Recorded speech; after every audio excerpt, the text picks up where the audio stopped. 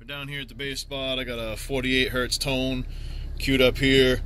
I'm going to uh, go ahead and just roll into this until I can see those clip indicators light up, and uh, we'll see how it goes. What's up, guys? Steve Young coming at you here. Uh, a little uh, tech video today. We're going to be discussing uh, amplifier clipping, uh, clip indicators when you're running multiple gain matched amplifiers in your vehicle.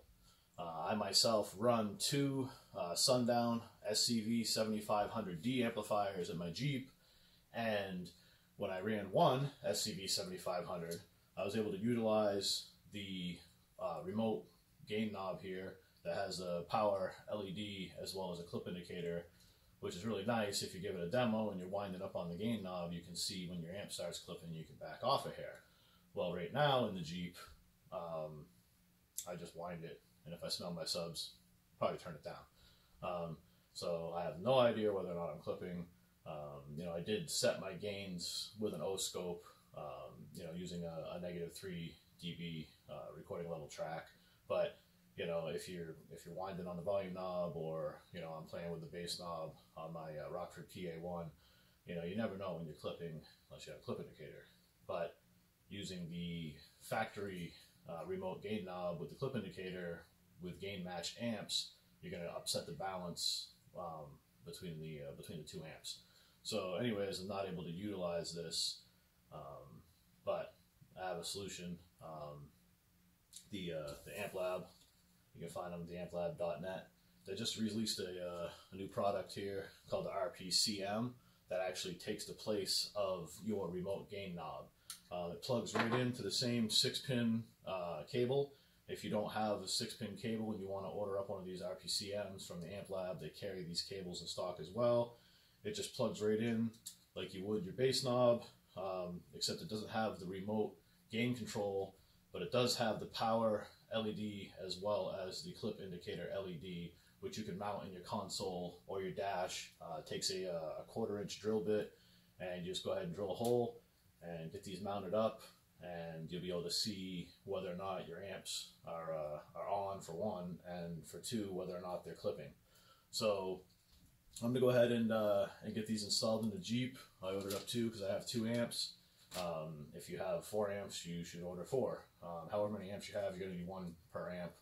Um, I'll put a list of amplifiers that these are compatible with, known amplifiers. The, the list is constantly updating.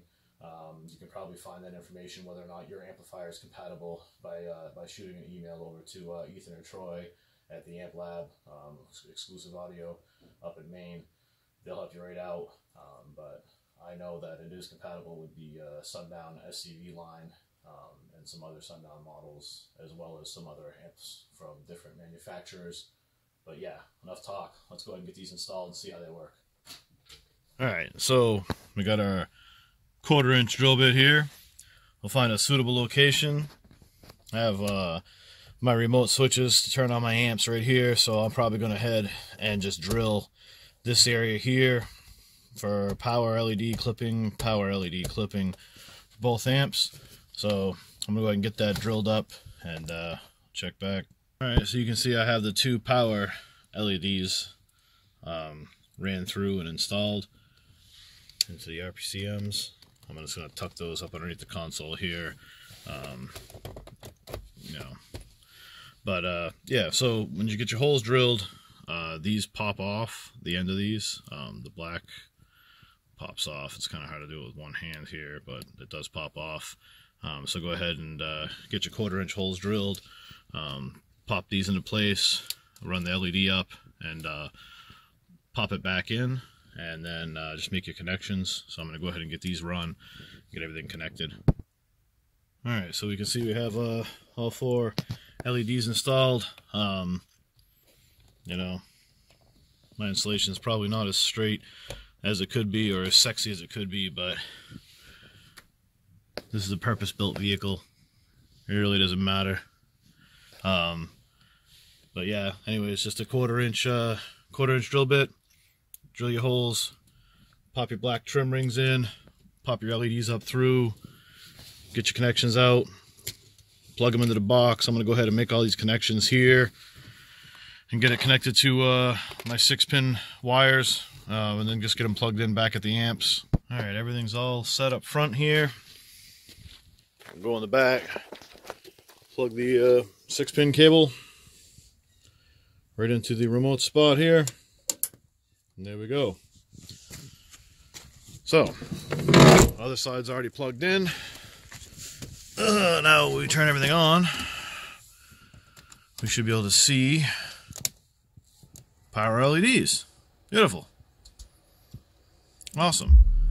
Now, uh, out of respect for my neighbors down the road here, I'm not going to turn this up to clipping, but we're going to take a ride down to the base spot and uh, see if we can uh, get the clip indicators to come on.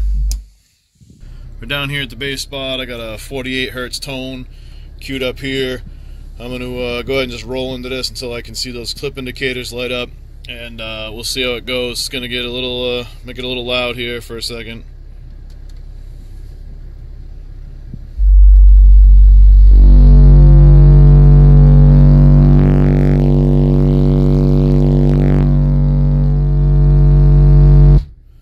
So we can see the uh, clip indicators work like they're supposed to. Um, you know, I'd say it's a success. So, uh, you know, if you want to see if you're clipping and you run uh, multiple uh, gain matched amplifiers, then uh, hit up the Amp Lab and get yourself some uh, some of these bad boys. All right, guys. Um, so if this video was was informative, um, then go ahead and uh, give me a thumbs up and let me know in the comments. Um, if you are interested in purchasing these uh, RPCM, go ahead and hit up the Amp Lab. They seem to uh, seem to work pretty well.